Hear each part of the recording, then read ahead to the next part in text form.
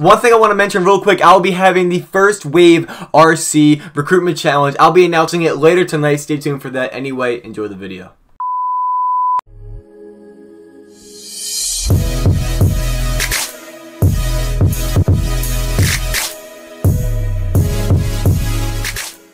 Yo, what's up guys? It's your boy, Nick here. Welcome back to the channel. In this video, I have for you guys a very exciting video. I'll be showing you guys the new items that are coming to Fortnite. I'm telling you right now, these items are pretty sick. So I hope you guys do enjoy this video. If you do, let me know by dropping a like on it as always. And let me know down below in the comments out of all these things I'm about to show you about, which one are you most excited for? Let me know your thoughts on that down below in the comments. Without further ado, it's your boy, Nick Let's get right into our supporter creator code shoutouts.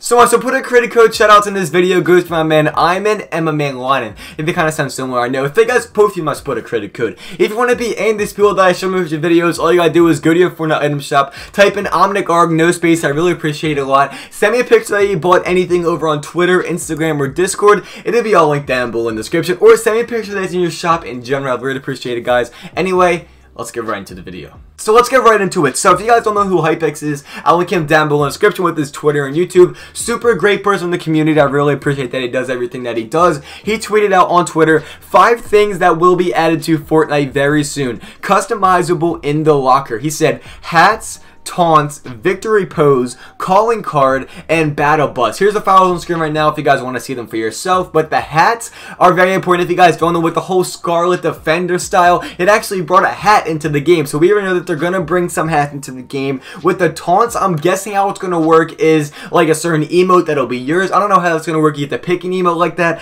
I really don't know. The victory pose is going to be like an emote, I guess, that you do whenever you win a game. The calling cards, if you guys don't know, is from like Call of Duty. I see this mostly at. It's basically like a little picture that'll be your picture. You get to customize it, do whatever you want. And the battle bus is very cool because you will be able to customize your own battle bus. So one thing I want to mention, he posted this under the tweet, repost, victory pose, and battle bus and hats were since the last Fortnite's birthday update, and other things got added after because I was the first to leak them when they got added to the pack files, and I think Heavy Power members. So basically he's saying is, three of these things were in the files for a while, but how he knows that they're going to be coming soon is because the other things got added with these files. So out of all the things I just mentioned, the hats, taunts, victory pose, calling card, and battle bus, which one are you most excited for? Let me know your thoughts on that down in the comments. So I have for you guys in this video. I'm gonna stop talking. Like this video if you found it helpful and enjoyed it in any way possible. If you made this far into the video and you're not subscribed yet, obviously you like me enough. So make sure to that big red button there that subscribe. Without further ado, it's your boy Nick and I will talk to you guys in a couple hours with a brand new Wave Recruitment Challenge video. I'll see you guys there. I can't wait. Peace.